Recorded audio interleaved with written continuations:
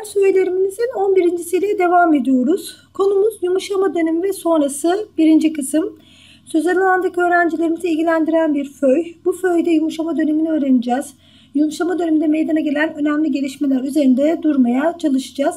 İlk olarak yumuşama dönemi nedir? Yumuşama dönemine neler sebep oldu? Biraz bunun üzerinde durmak lazım. Yumuşama dönemi aslında resmi olarak 1969 ile 90 yılları arasını kapsayan kısımdır arkadaşlar. Ama temelinde Kennedy ile Khrushchev'in görüşmeleri yatmaktadır 1961 yılında.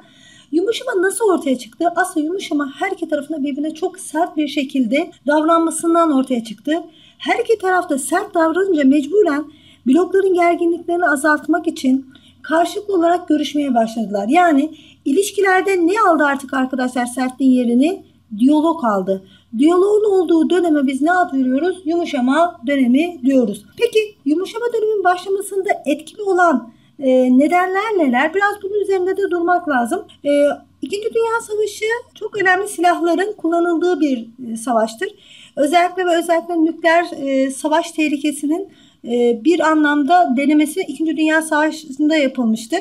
İnsanlar öncesinde konveksiyonel silahlar dediğimiz daha böyle basit silahlar kullanırken artık 2. Dünya Savaşı'ndan sonra nükleer savaş tehlikesi ortaya çıkmıştır. Herhangi bir savaş durumunda tam bir taraf galip gelirse öbür tarafın arkadaşlar ölmesi durumunda galip gelenin komaya girmesine sebep olacak bir sonuca neden olabilir. Tahribatı da düzeltmenin imkansızlığı düşüncesi karşılıklı olarak görüşmelerde etkili olmuştur. Ve sonuçta 1961 yılında ABD Başkanı Kennedy ile e, Stalin'den sonra başa geçen Khrushchev arasında görüşmeler başlamıştır. Bu görüşmeler aslında yumuşama dönemini yavaş yavaş ne yapmıştır? Başlatmıştır. Artı bunun yanı sıra Çin ve Sovyetler Birliği arasında yaşanan bir nüfus mücadelesi vardı. E, bu nüfus mücadelesi Çin'in ABD'ye doğru yakınlaşmasına ve Sovyetler Birliği'nin bu yüzden de tehditkar politikalarını azaltmasına sebep oldu. Yine e, Sovyetler Birliği'nin güdümü altında bulunan Yugoslav ve Romanya artık Sovyetler Birliği'nin baskısı altında yaşamak istemiyorlardı e, ve Batı ile iyi ilişkiler kurmak istiyorlardı. Bu durumda Sovyetler Birliği'nin gücünü ne yapıyordu? Kırıyordu. Yine Sovyetler Birliği e, Alexander Dubček'in başlatmış olduğu insancıl komünizmi e, Varşova'ya girerek bastırmıştı. Bu durumda üye ülkeler arasında tepkiye sebep olmuştu. Bu arada Batı blokunun lideri olarak görünen ABD de bazı siyasi gelişmelerde müttefiklerine danışmadan hareket etmişti. E, bu durumda hala Batı blokunda ABD olan tepkiyi artırmıştı. İşte bu tepkinin bir sonucu olarak Fransa e, NATO'nun e, askeri kanadından çekildi. Arkadaşlar bu da Batı blokunda sarsıntılar meydana getirdi. İşte yavaş yavaş bu gelişmeler iki blok arasında diyalogların artmasına ne yapacak? Etkili olacak. 1956 yılında aslında bunun ilk belirtileri Sovyet Komünist Partisi'nin 20. kongresinde verilecek. Mesela bu kongrede arkadaşlar karşılıklı olarak toprak bütünlüğüne saygı, egemenlik haklarına saygı, devletin iç işlerine karışılmama, e, karşılıklı çıkarlara dayalı eşitlik ve siyasi ve ekonomik işbirliği gibi e, maddeler üzerinde durulmuş ve bu konularda bir şekilde anlaşmaya varılmıştı. 1968 yılında da o zamanın başkan olan Nixon Dışişleri Bakanı olan Kissinger'ın da desteğiyle bir doktrin yayınladı. Bu doktrin arkadaşlar Sovyetler Birliği ile olan ilişkileri üç temel üzerine koydu. Bunlardan bir tanesi realizm ilkesidir. E, ortak çıkarların alanında anlaşmalar yapılması e, söylendi. İkincisi ölçü ilkesidir. E, iki devletten birisi dünyada oluşan krizlerden tek taraflı olarak avantaj elde etmeye kalkarsa iki devlet arasında ilişkilerini sürdüremez. Bu yüzden de e, başka devletlere zarar olacak anlaşmaları desteklememeli şeklinde bir ilke. Üçüncüsü ise bağlantılılık ilkesidir. Dünyanın farklı bölgelerinde birbirlerinin sorunlarının çözümü ile için ABD sadece ve sadece asker alanlarda değil bütün e, olarak e, diğer alanlarda da görüşmeler yapılmasının savunulduğunu söyleyen ülke. Aslında bu ülke bir anlamda e, Amerika'nın artık e, tamam dünyanın kuvvetiyiz biz ama uluslararası sorunların çözümünde artık asker değil e, diplomasi kullanmalıyız diyen arkadaşlar ülkelerdir. E, bu şekilde belirlenen ilkeler bundan sonra ABD'nin yavaş yavaş dış politikasında önem verdiği ilkeler haline ne yapmıştır? Gelmiştir. Şimdi gelelim örnek soruların çözümüne. Aşağıdakilerden hangisi yumuşama döneminde mimarlar olarak kabul edilen liderlerdir diye bir soru sorulmuş. Şimdi yumuşama dönemi dediğimiz dönem gerginliklerin azaltıldığı dönem, diplomasinin önem kazandığı bir dönem. Bundaki etken olan nedenleri daha önceden size söylemiştik. E, bu e, yumuşama döneminin başlamasında iki tane arkadaşlar lider çok etkili olmuştur. Bunlardan bir tanesi o zaman ABD Başkanı olan Kennedy, diğeri ise Stalin'in ölümünden sonra başa gelen Khrushchev'dir. Dolayısıyla cevabımız nedir? A seçeneğidir. İkinci soru NATO'nun kuruluşunda önemli bir rol oynayan Fransa 1966 yılında NATO'nun askeri kanadından çekilmiştir. Fransa'nın bu tutumu aşağıdakilerden hangisiyle açıklanabilir diye bir soru sorulmuş. Fransa arkadaşlar Amerika'nın müttefiklerine danışmadan kendi başına hareket etmesini e, kabul edemiyor. Bundan dolayı 1966 yılında vermiş olduğu bir kararla bundan sonra NATO'nun askeri kanadında yer almayacağını belirtiyor. Dolayısıyla cevap ne olması lazım? B seçeneği yani ABD'nin müttefiklerini önemsemeden kendi çıkarlarına göre hareket etmesi olması lazım.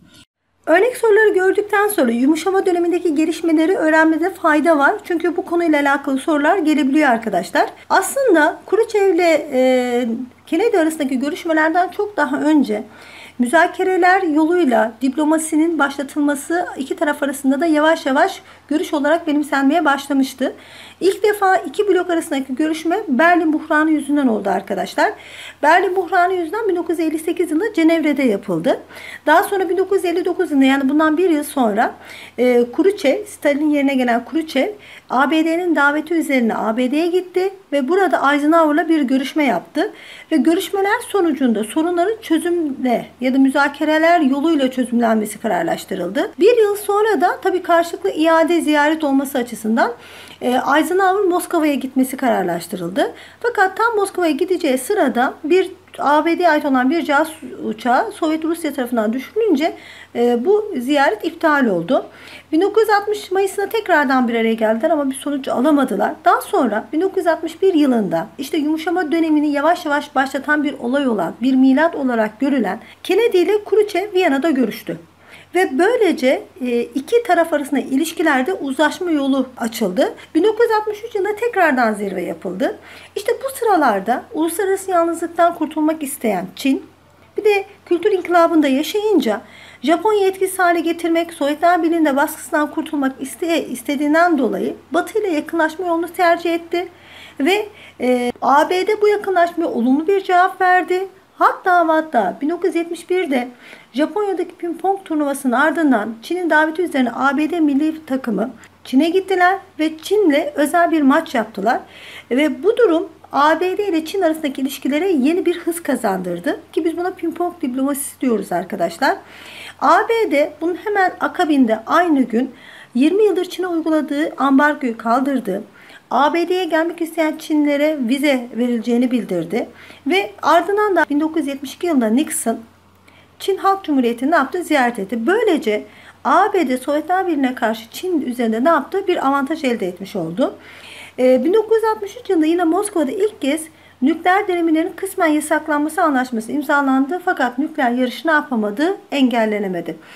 Ee, arkadaşlar e, yumuşama döneminin başlangıcı her ne kadar Kennedy ile Khrushchev'in görüşmesi olarak kabul edilse de resmi olarak başlangıcı e, SALT 1 iledir. 1972 yılında yapılan SALT 1 iledir. 1969 yılında Helsinki'de ABD ve Sovyetler Birliği nükleer silahların sınırlandırması konusunda görüşmeleri başlıyor. Ve SALT 1 adıyla arkadaşlar 1972 yılında sadece savunma füzeleri sınırlandırılmasının kararlaştırıldığı bir anlaşma yapılıyor. Bu anlaşma aynı zamanda sorunların barışçı yollarla çözümlenme sürecini başlatıyor ve aslında resmi olarak da arkadaşlar ne yapacak? Yumuşama dönemini başlatacak. 79 yılında bu sefer SALT 2 anlaşması imzalanıyor. Bununla da uzun menzilli nükleer silahlar sınırlandırılması kabul ediliyor. Fakat tam bu sırada Sovyetler Birliği Afganistan'a girince e, ABD Senatosu yapılan bu anlaşmayı ne yapıyor arkadaşlar? Onaylamıyor. Önemli gelişmeleri gördükten sonra gelelim örnek soruların çözümüne. İlk sorumuz şu. Detant yani yumuşama Doğu ve Batı bloklarının aralarındaki sorunları görüşerek çözmeye çalıştıkları bir dönemdir. Bu dönemde Doğu ve Batı bloklarının izlediği politikalar arasında 1. Uluslararası sorunlara daha ılımlı yaklaşma 2. Dünyayı büyük bir felakete sürükleyecek silahları kademeli olarak yok etme 3. Bloklar arasında işbirliği ve dayanışmayı sağlayacak girişimlerde bulunma. Unsurlarından hangilerinin bulunduğu savunulabilir diye bir soru sorulmuş. Şimdi arkadaşlar yumuşama dönemi dediğimiz dönem resmi olarak salt bir anlaşmasıyla başlamıştır. Ama daha öncesinde 1950'li yılların ortalarında yavaş yavaş gerginliklerin azaltılması yolunda faaliyetlerde bulunulmuştur. 1961 yılında işte Khrushchev ile Kennedy'nin yapmış olduğu görüşmeler aslında yumuşama döneminin başlangıcı olarak da kabul edilebilir. Ee, devletler artık şunun farkında arkadaşlar. Herhangi bir şekilde sertlikle bir yere varılamaz. Sertlik beraberinde silah kullanma şekline devam ederse her iki tarafında yok olmasına sebep olacak sonuçlar meydana gelebilir. Bu yüzden de sorunları diplomasi yoluyla yani askeri yolla değil de diplomasi yoluyla e, yaklaşmanın gerekli olduğu. Artı herhangi bir savaş durumunda bir taraf yense dahi yenen tarafın da komaya gireceğinin ortaya çıkması mecburen özellikle dünyayı felakete sürükleyecek olan silahların sınırlanması gerekliliğini ortaya çıkarmıştır. Artı bloklar arasında işbirliği ve dayanışmayı sağlayacak girişimlerde mecburen bu dönemin sonucu olarak e, meydana gelmiştir. Öyleyse her üçünün de arkadaşlar yumuşama döneminin oluşması etkili olduğu söylenebilir mi? Evet söylenebilir. Buna göre cevabımız nedir? E seçeneğidir. İkinci sorumuz da şu arkadaşlar. Yumuşama döneminde Doğu ve Batı bloklar arasında ilk ortak görüşme aşağıdaki olayların hangisinin sonucunda yapılmıştır diye bir soru sorulmuş. Şimdi 2. Dünya Savaşı sırasında Almanya 4 devlet tarafından işgal edilmişti. İngiltere, Fransa, ABD ve Sovyet Rusya. Bu 4 devlet işgal bittikten sonra ne yapacaklardı? Bulundukları bölgelerden çekilecekler. Almanya ile bir anlaşma yaptıktan sonra Almanya'nın bağımsız ne yapacaklar? Tanıyacaklardı. Fakat Sovyet Rusya işgal ettiği bölgeden çekilmediği gibi kendi bölgesinde komünist düşünceyi yaymak istedi. Bu durum diğer üç devletin tepkisine sebep oldu ve 2. Dünya Savaşı sonucunda Federal Almanya ve Demokratik Almanya adıyla iki tane devlet kuruldu.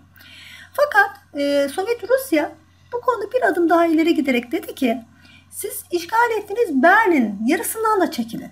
Ve birer nota verdi 1950'li yılların ortalarında. Ve bu nota tabii ki tepkiyle karşılandı. Ve sonuçta arkadaşlar Sovyet Rusya geri adım atmak zorunda kaldı ve kendi tarafından batı tarafına geçişleri kaçışları engelleyebilmek amacıyla 1961 yılında Berlin Duvarı ya da diğer adıyla Utanç Duvarı'nı örmeye başladı. İşte Berlin buhranın büyümesi iki blokun e, liderlerinin bir araya gelerek Amerika'da görüşmelerine sebep olacak. Dolayısıyla cevabımız nedir? B seçeneğidir. Şimdi bunları öğrendikten sonra gelelim e, yumuşama döneminin sonuçları arasında görülen e, devletlerin bir araya gelerekten işbirliği ve güvenlik e, anlamında ortaklaşa kararlar almış olduğu Helsinki konferansına ve sonuçta yayınlanan Helsinki nihai senedine. Şimdi bloklar arasında yavaş yavaş yumuşama dönemi başlayıp da salt bir anlaşmasıyla özellikle belli alanlarda arkadaşlar sınırlamalar getirilince Avrupa'da güvenlik ve işbirliğini güçlendirmek amacıyla bir konferans toplandı. Bu konferansa Avrupa devletlerinin geneli Arnavutluk hariç ne yaptı? Olumlu cevap verdi. Bir de kıta Amerika'sından Amerika Birleşik Devletleri ve Kanada katıldı. Ve bunlar arkadaşlar 1 Ağustos 1975 yılında Helsinki'de e, Avrupa Güvenlik İşbirliği Konferansı ya da Helsinki Konferansı'nı topladılar ve sonucunda da bir nihai senet yani sonuç belgesini imzaladılar. Bu sonuç belgesi aynı zamanda devletler arası ilişkilerin en medeni esaslarının çizildiği belgedir. Bu belge ile demokrasi, temel haklar ve özgürlükler alanında önemli gelişmeler kaydedilmiştir. Neydi peki? Her devletin bağımsızlık, egemen ve kendi geleceğine karar verme hakkının kendisine ait olduğunu, her devletin toprak bütünlüğünün korunması gerektiğini, sınırların dokunulmazlığı, e, hiçbir şekilde arkadaşlar bir devletin bir başka devlete saldıramayacağını, işgalcilik yapamayacağını, aralarındaki anlaşmazlıkların barışçıl yollarla çözüleceği, konferansa katılan devletlerin birbirlerinin iç ve dış işlerine her türlü müdahaleden kaçınacağını, yine insan haklarının önem kazanacağını bildiren kararlar almışlardı ve bu kararlar günümüzde de halen korunmaya çalışan kararlardır. Şimdi bunu da öğrendikten sonra arkadaşlar bakın agik çok önemlidir. Bunu öğrendikten sonra gelelim bu konuya paralel olarak e, çözeceğimiz örnek sorulara. İlk örnek sorumuz şu. 1 Ağustos 1975'te imzalanan Helsinki Nihai Senedi'ne göre her devletin bağımsızlık, egemenlik ve kendi geleceğine karar verme hakkı vardır. Konferansa katılan devletler birbirlerinin iç ve dış işlerine her türlü müdahaleden kaçınırlar. Bu kararlara göre hangi çıkarıma ulaşılabilir diye bir soru sorulmuş. Bakalım öncülere. Birinci öncüde konferansta sömürgeci devlet anlayışını ortadan kaldırmak istendiğini söyleyebilir miyiz? Evet bakın ne diyor? Birbirlerinin iç dış işlerine kesinlikle müdahale etmeyecekler. Her devletin bağımsızlığına, egemenliğine, kendi geleceğine karar verme yetkisi olacak. O zaman bu var mı? Var. İkinci öncülde konferansa katılan devletlerin bağımsız devlet anlayışına saygı esas alındığı değil mi? Var. Üçüncü öncülde konferans kararları ile devlet arası ilişkilerin saygı üzerine kurulmaya çalışıldığı söylenebilir mi? Söylenebilir. Öyleyse cevabı ne olması lazım? E seçeneği olması lazım.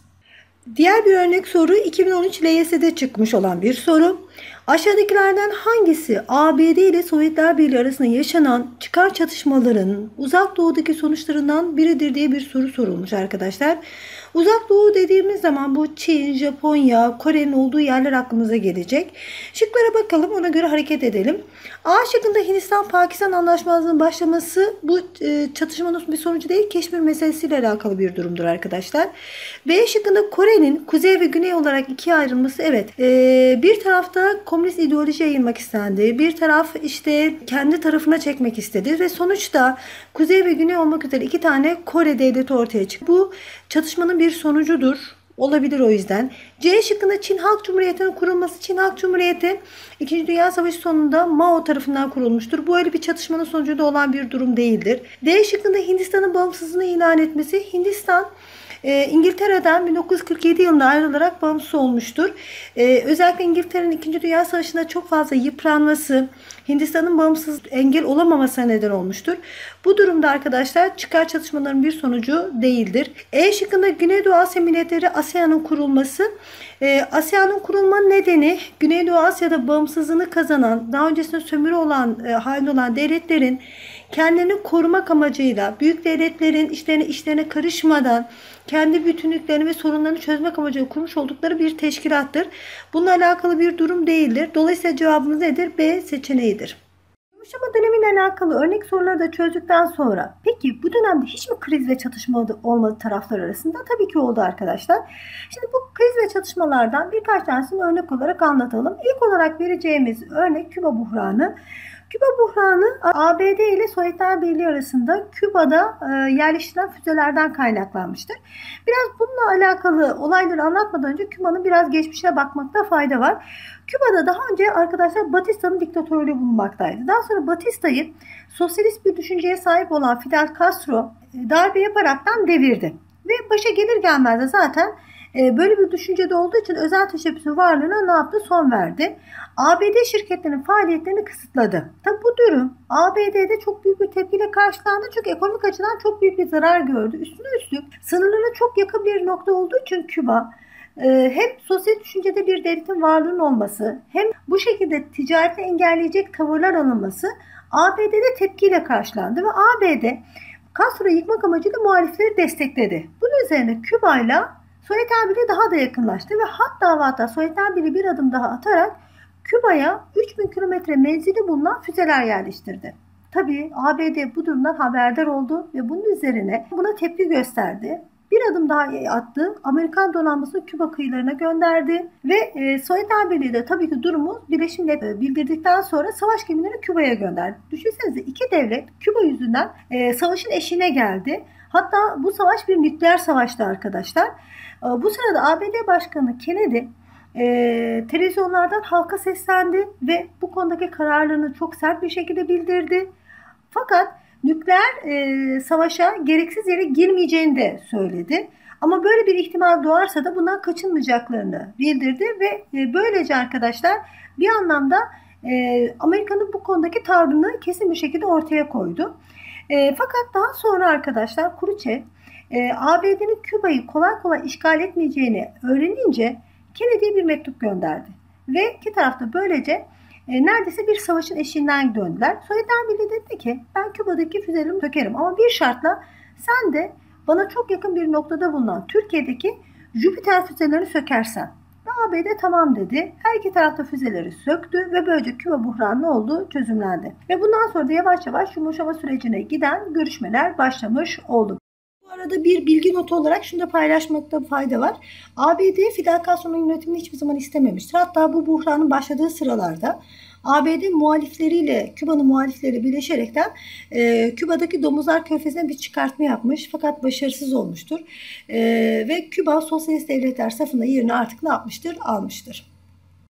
E, Küba buhranını anlattıktan sonra bu kamuya paralel olarak çıkmış olan bir soruyla devam edelim. 2012 LYS'de çıkmış olan bir soru. Aşağıdakilerden hangisi 1962 yılında Sovyetler Birliği'nin Küba'ya füze yerleştirmesiyle başlayan ve Sovyetler Birliği ile ABD arasındaki ilişkileri daha da gerginleştiren Küba buhranının Türkiye'yi ilgilendiren sonuçlarından biridir diye bir soru sorulmuş. Ee, Sovyetler Birliği Küba'yı Amerika'ya karşı korumak amacıyla menzili 3000 kilometre olan füzeler yerleştiriyor. Bu şu demek arkadaşlar neredeyse Amerika'nın büyük bir kısmı füzenin tehdidi altına, nükleer silahların tehdidi altına giriyor demek. Buna tabii ki Amerika çok büyük bir tepki gösterecek ve her iki tarafta bir nükleer savaşın eşiğine gelecekler. Sonuçta nükleer savaşın sonuçlarının çok kötü olduğu bilindiğinden dolayı her iki taraf e, bir araya gelecek ve görüşmeler yapacak ve görüşmeler sonucunda Sovyetler Birliği diyecek ki Küba'daki füzelerimi sökerim ama bir şartla sen de e, bana yakın bir yerde bulunan Türkiye'deki Jüpiter füzelerini sökersen Amerika bunu kabul edecek ve böylece sorun ne olacak çözümlenecek. Öyleyse nedir cevabımız? Türkiye'deki ABD ait Jüpiter füzelerinin sökülmesi olması lazım. Şimdi Küba buhranını anlattıktan sonra yumuşama dönemindeki diğer bir sorun arkadaşlar Vietnam Savaşı'dır. Vietnam 1964 ve 74 yılları arasında bir savaşa çok önemli bir savaşa sahne olmuştur. Peki Vietnam neresi? Biraz bunun üzerinde durmak lazım. Asya kıtasının güneydoğucunda bir yer arkadaşlar. Daha öncesinde Fransız sömürgesi. Fakat 1954 yılındaki Cenevre Anlaşması'yla bağımsız bir hale geldi ve bağımsızlık da iki devlet üzerine kuruldu. Kuzey ve Güney Vietnam olmak üzere. Fakat Cenevre Anlaşması'yla bir madde yer aldı. Bunlar iki yıl sonra bir araya gelecekler ve e, bir seçim yapılacak ve seçim sonucunda iki Vietnam'da birleşecekti. Fakat e, Güney Vietnam biraz da ABD'nin etkisiyle arkadaşlar seçime gitmedi. Çünkü seçime giderse seçim sonucunda Kuzey'in galip çıkacağı anlaşılıyordu. Seçimlere katılmayınca Komünist Kuzey Vietnam gitti Güney Vietnam'a saldırdı. Bunun üzerine yavaş yavaş Vietnamlar arasında bir savaş başladı. Fakat savaşta sadece iki taraf olmadı. Aynı zamanda e, bağlı bulundukları devletler de savaşa katıldılar. Güney Vietnam ABD'den yardım istedi. ABD de dedi ki ulusal çıkarlarım ve kendi güvenliğim burada tehlikeye girdi ve ben ne yapıyorum? Ben bu savaşta Vietnam'a askeri ve ekonomik yardımda bulunacağım. Fakat tam işte askeri yardımda bulunurken ABD'ye ait olan gemiler Vietnamların saldırısına uğradı. Bunun üzerine 1965 yılında ABD ne yaptı? Vietnam'a savaş açtı ve 80 bin tane arkadaşlar askerini Vietnam'a gönderdi. Fakat bu durum gerek içte gerek dış tepkilere neden oldu. Özellikle özellikle içindeki halk böyle bir savaşta niçin yer aldıklarını sorgulamaya başladılar. Bir bir işte çocukları, kardeşleri, eşleri ölü olarak gelince hatta çok kötü bir şekilde öldürüldükleri de öğrenince halk arkadaşlar buna tepki verdiler ve ABD hem içte hem de dışta ne oldu? Yalnız bırakıldı. Hatta bu konuda örnek olarak gösterilen bir olay da vardır. O sırada dünyaca ünlü boksör olan Muhammed Ali askere çağrılacak. Muhammed Ali ise Vietkonglar yani Kuzey Vietnamlar bana hiçbir kötülük yapmadılar ki onlarla niçin savaşayım diyerekten askere gitmeyi reddedecek. Bunun üzerine tabi ABD buna tepki verecek, ünvanları elinden alınacak. Kendisi boks yasağı getirecek ve 5 yıl hapis cezasına çarptırılacak. Fakat zamanla ülkede savaş karşıtlıkları artacak. Bunun üzerine ABD geri adım atmak zorunda kalacak. Kongre savaşa bakış açısını değiştirecek. Gerek kamuoyunda ve gerekse ABD'deki kongresindeki bu gelişmeler e, Muhammed Ali'ye de yansıyacak. Ünvanı geri verilecek ve spor yaşamına tekrardan ne olacak? Başlayacak. ABD Vietnam'da hiç beklemediği arkadaşlar bir başarısızlığa uğrayacak. İlkel yollarla da olsa ABD askerleri bu bir tuzakları şudur budur derken e, ABD orada çok büyük bir başarısızlığa uğrayacak. 7 milyon ton bomba atacak. Birçok yere mayınlar döşenecek ama arkadaşlar ABD burada ne olacak? Yenilecek ve 1973 yılında Paris'te görüşmeler yapılacak ve bu görüşmeler sonucunda Vietnam barışı imzalanacak. 1975 yılında da Kuzey Vietnam askerleri güneye girecek ve arkadaşlar Vietnam adıyla bir devlet, Vietnam Halk Cumhuriyeti adıyla bir devlet kurulacak. Komünist bir devlettir. Bunu da burada antiparantez söylemekte fayda var. Tabi bu savaş e, Amerika e, film sektörüne de damgasını vuracak. Bu dönemde arkadaşlar pek çok e, Vietnam Savaşı'nı konu eden filmler yapılacak ve bu filmler gişe rekorları kıracak.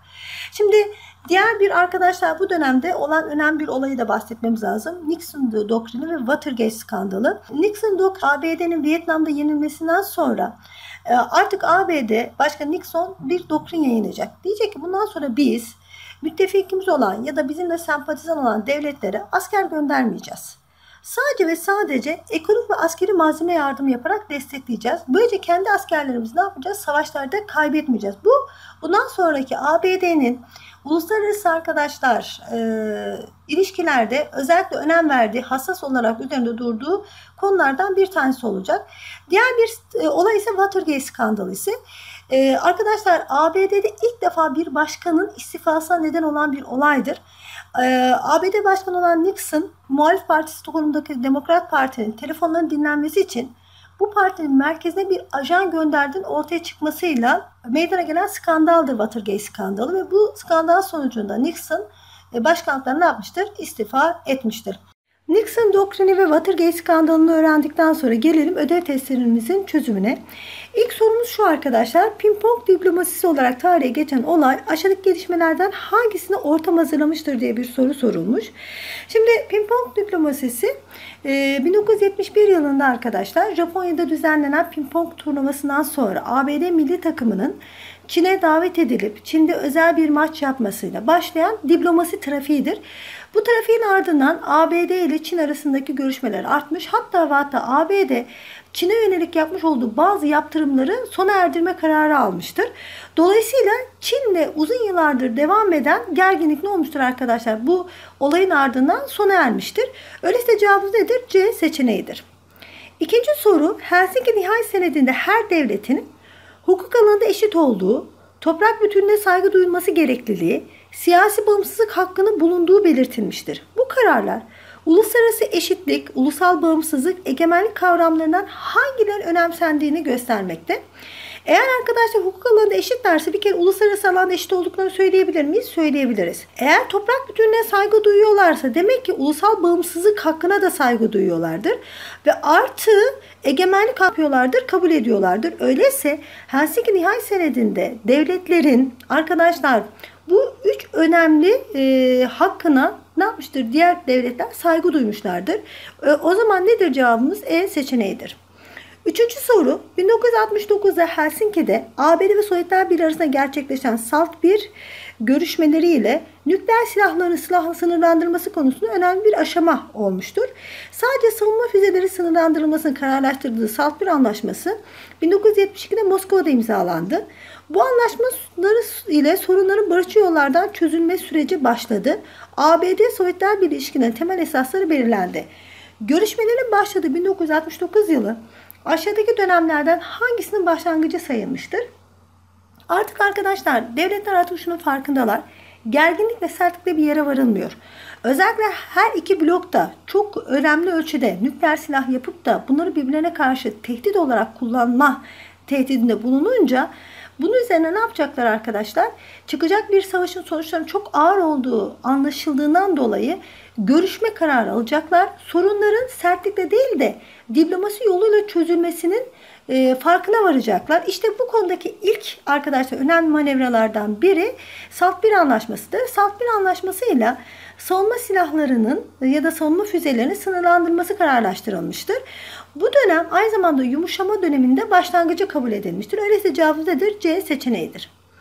Dördüncü soru ABD ile Sovyetler Birliği arasındaki ilişkilerde başlayan yumuşama süreci zaman zaman yaşanan gelişmelerden dolayı kesintiye uğramıştır. Bu duruma bir Kore Savaşı'nın çıkması, iki Sovyet Rusya'nın Afganistan'ı işgal etmesi, üç Watergate skandalının yaşanması gelişmelerinden hangileri örnek gösterilir? Şimdi yumuşama süreci ilk olarak aslında Kennedy ile Khrushchev arasındaki görüşmelerle başladığı söylenir. Ama kesin olarak başlaması Salt bir anlaşması yani 1972 yılındadır. Şimdi 1972 ve sonrasında meydana gelen gelişmeler yumuşama dönemindeki olaylar olarak ele alınmalı. Kore Savaşı 1950 yılında çıktı. Dolayısıyla 1972'den çok daha önce. Sovyet Rusya'nın Afganistan'ı işgali işte 1979 yılındadır arkadaşlar yumuşama dönemi sürecinde yaşanan bir olaydır. Watergate skandalı doğru bu dönemde yaşanan bir olaydır. Fakat Watergate skandalı ABD'nin bir iç olayıdır. Dolayısıyla yumuşama süreciyle alakalı bir olay değildir.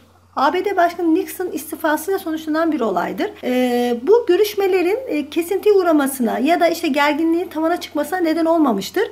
Öyleyse cevabımız nedir? B yalnız 2 olması lazım. Beşinci soru ABD'nin Kuzey Vietnam'a karşı yaptığı mücadelede Güney Vietnam'ı destekleme kararı alması ve buraya asker göndermesi özellikle ABD'deki büyük şehirlerde ve üniversitelerde protestolara neden oldu. Gösterilerin yaygınlaşması ABD Kongresi'nin savaş yanlısı tutumunu değiştirmesine yol açtı. Bu bilgilere göre hangi çıkarıma ulaşılabilir diye bir soru sorulmuş. Bakın ABD gidiyor Kuzey Vietnam'a karşı Güney Vietnam'ı destekleyeceğini söylüyor. Ve oraya ilk başta 80 bin asker gönderiyor. Daha sonra bu asker sayısını artırıyor. Fakat burada meydana gelen arkadaşlar felaketler kamuoyuna yansıyınca özellikle ABD'nin büyük şehirlerinde ve üniversitelerinde bakın tepkilere neden oluyor. Ve bunun üzerine e, demokratik ülkelerde her şeyde halk ön planda olduğu için ABD Kongresi savaş karşıtı bir tavır almak zorunda kalıyor ve yavaş yavaş niçin savaşa girdik, niçin Güney Vietnam'ın yanında yer aldık diye sorgulamaya başlıyorlar. Şimdi ben buradan bunu anlıyorum. Bu bilgilere göre hangi çıkarımı yapabilirim? Birinci öncülde ABD'nin Vietnam'daki gelişmeleri yakından takip ettiğini anlayabilir miyim? Anlayabilirim. İkinci öncülde ABD halkının sınırları dışındaki olaylara ilgisiz kaldığını söyleyebilir miyiz? Hayır ilgisiz kalmamışlar bakın. Üçüncü öncülde içerideki gelişmelerin ABD'nin dış politikasında önemli değişimlere neden olduğunu da söyleyebilir miyim? Söyleyebilirim. Öyleyse cevabım nedir? 1 ve 3 yani C seçeneğidir. Altıncı soru. Aşağıdaki anlaşmalardan hangisiyle Vietnam Fransa'dan ayrılaraktan bağımsız olmuştur? Arkadaşlar Vietnam Asya'nın güney ucunda olan bir ülkedir ve Fransız sömürgesiydi. 1954 yılındaki Cenevre Anlaşması ile bağımsızlığını ilan etmiştir. Öyleyse cevabım nedir? B seçeneğidir. Yedinci soru. Yukarıda verilenlerden hangileri yumuşama dönemindeki nükleer silahları sınırlandırmaya yönelik girişimler arasında yer alır diye bir soru sorulmuş. Helsinki Nihai Senedi 1975 yılında imzalanan devlet arası ilişkilerin nasıl olacağını söyleyen arkadaşlar bir senettir. Salt bir anlaşması 1972 yılında e, savunmaya dayalı füzelerin sınırlandırılmasını söyleyen bir anlaşmadır. SALT 2 görüşmeleri ise arkadaşlar uzun menzilli füzelerin sınırlandırılması amacıyla yapılan görüşmelerdir. Bandung Konferansı ise bağlantısızlar harekatın oluşmasına etkili olan arkadaşlar konferanstır. Nükleer silahlarla ilgili öyleyse hangisidir arkadaşlar? 2 ve 3 yani e, A seçeneğidir. Sekizinci soru, yumuşama döneminde nükleer silahların sınırlandırılması ile ilgili. 1. SALT 1, 2. Cenevre, 3. Zürih anlaşmalarından hangileri yapılmıştır diye bir soru sorulmuş. Şimdi nükleer silahlar dediğimiz zaman aklımıza iki tane anlaşma gelmeli arkadaşlar. Bunlardan biri SALT 1, diğerisi SALT 2 gelmeli. SALT 1 anlaşmasıyla savunmaya dayalı füzelerin sınırlandırılması kabul edilmiştir. Cenevre Anlaşması e, Vietnam'ın Fransa'dan bağımsızlığını sağlayan anlaşmadır. Zürih Anlaşması ise Kıbrıs sorunu sırasında yapılan anlaşmalardan bir tanesidir. Dolayısıyla cevabımız nedir? Yalnız bir yani A seçeneğidir. 9. Bağlantısızlar genellikle 2. Dünya Savaşı'ndan sonra bağımsızlığını kazanan Asya ve Afrika devletlerinin bir araya gelmesiyle oluşturulmuştur. Aşağıdakilerden hangisi Asya ve Afrika'da bir sömürge devleti olmadığı halde bağlantısızların oluşumunda etkin rol oynayan Avrupa devletidir? Şimdi 2. Dünya Savaşı sırası ve sonrasında birçok arkadaşlar Afrika ve Asya ülkesi sömürü altında bulunan bağımsızlıklarını elde ettiler. Bunlar bağımsızlıklarını elde ettikten sonra ne Batı ne de Doğu bloku içinde yer almak istemediler. Ve daha sonra arkadaşlar bağlantısızlar ya da 3. Dünya ülkeleri dediğimiz ülkelerin oluşumunda etkili oldular. Ya da böyle bir blokun oluşumunda etkili oldular. Normalde Doğu blok içinde yer almasına rağmen Yugoslavya arkadaşlar e, komünizmi kendi iradesiyle seçtiği için Sovyet Rusya ile özellikle Balkanlar konusunda da polemiğe girince blok dışı içinde dışlanmış ve hatta hatta formdan çıkarmıştı, çıkartılmıştı arkadaşlar. Bu durum Yugoslavya'nın yavaş yavaş e, bağlantısızlar hareketine yaklaşmasına hatta ve hatta bu e, hareketin oluşumunda etkili olmasına ne yapacak? Neden olacak? Öyleyse cevabı nedir? C seçeneğidir. 10. soru ABD Başkanı Nixon'ın muhalefetteki Demokrat Parti'nin telefonlarını dinletmesi için bir ajanı görevlendirmesi ve ardından bu olayın ortaya çıkması nokta nokta olarak tarihe geçmiştir diye bir e, soru verilmiş. Yukarıda bırakılan boşluğa aşağıdakilerden hangisi getirilse doğru bir bilgi verilmiş olur diye bir soru var arkadaşlar.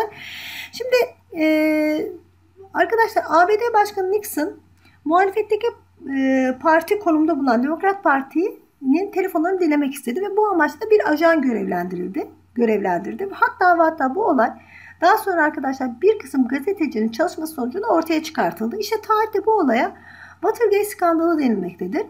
E, Watergate skandalı sonucunda ABD Başkanı Nixon görevinden istifa etmek zorunda kaldı. Öyleyse cevabı nedir? B seçeneğidir. 11. soru. Vietconglular bana hiçbir kötülük yapmadılar ki onlarla neden savaşayım diyerekten Vietnam Savaşı'na katılmayı reddeden ünlü boksör aşağıdakilerden hangisidir diye bir soru sorulmuş. Vietnam Savaşı başladığı zaman ABD ilk etapta 80 bin askerini gönderdi. Daha sonra peyderpey bu asker sayısı 600 bine kadar çıkarıldı arkadaşlar. Tabi haliyle halktan asker toplamak istedi ve bu konuda Muhammed Ali'ye de askerliğe celp emri gönderildi. Fakat Muhammed Ali e, buna tepki verdi arkadaşlar ve dedi ki ben böyle bir savaşa gitmeyi reddediyorum. Kuzey Vietnamlar bana kötülük yapmadılar ki ben onlarla gidip neden savaşayım dedi. Ve e, askere gitmeyi reddetti. Tabi ABD buna çok ilk başta çok sert tepkiler verdi. Hapis cezasına çarptırdı, ünvanları geri aldı, lisansını arkadaşlar iptal etti derken ama kamuoyunda e, tabi olumsuz bir tavırla yaklaşılınca ABD'nin bu tavrına geri adım atmak zorunda ne yapacak kalacak. Öyleyse cevabı nedir? A seçeneği Muhammed Ali Clay olmalı. 12. soru 1975 yılında Helsinki'de toplanan konferansta her devletin toprak bütünlüğü korunacaktır. Birleşmiş Milletler'in temel amaçlarına aykırı olacak hiçbir saldırı ve kuvvet kullanmak kabul edilmeyecektir. Konferansa katılan devletler birbirlerinin iç işlerine müdahale etmeyecektir. Kararlar alınmıştır. Helsinki Konferansı'nın yukarıda verilen kararlarına göre 1. Konferansa katılan devletlerin Birleşmiş Milletler'in kurucu üyeleri oldu.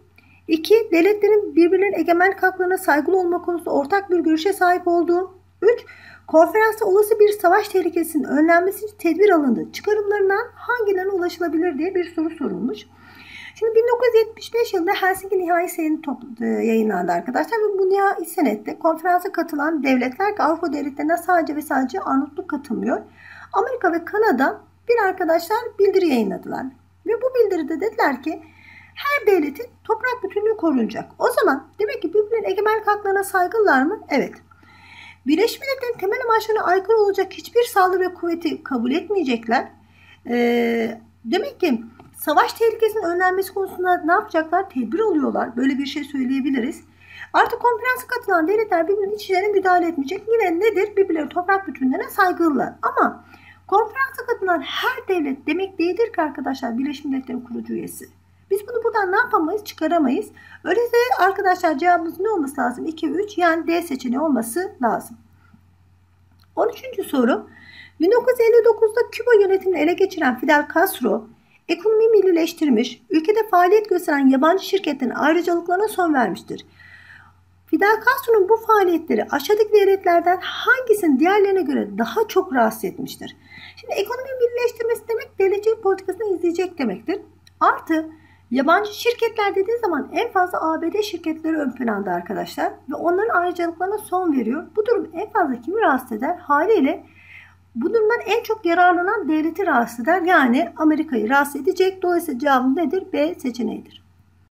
14. soru 1956 yılında toplanan Sovyet Komünist Partisi'nin 20. kongresinde ABD ve Sovyet Rusya arasında gerginliğini azaltmak için bir takım ilkeler belirlenmiştir. Aşağıdakilerden hangisi bu ilkeler arasında yer almaz diye bir soru sorulmuş. Stalin'den sonra başa geçen Khrushchev zamanında arkadaşlar yaşanan gerginliği azaltmak amacıyla bir takım adımlar atılmıştır. Bu adımlardan bir tanesi de Komünist Parti'nin 20. kongresinde alınan kararlardır ya da belirlenen ilkelerdir. Bu ilkelerden hangisinin olmadığı bize sorusu olarak sorulmuş. Bakalım şıklara. A şıkkında karşılıklı olarak toprak bütününe saygı duyulması var mı? Var. B şıkkında devletlerin birbirlerinin egemenli haklarına müdahale etmemesi var. C şıkkında siyasi ve ekonomik alanda işbirliğine önem verilmesi de var. D şıkkında devletlerin eşitlik ilkesinin esas alınması da var. E şıkkında serbest piyasa ekonomisinin yerleştirilmesinin çaba harcaması. Arkadaşlar Sovyetler Birliği komünist bir devlettir. Ve komünist devletlerde devletçilik esas alınmıştır. Serbest e, piyasa ekonomisi dediği zaman liberalizm aklımıza gelir. Dolayısıyla böyle bir karar almış olabilirler mi? Hayır almış olamazlar. Buna göre cevabımız nedir? E seçeneğidir.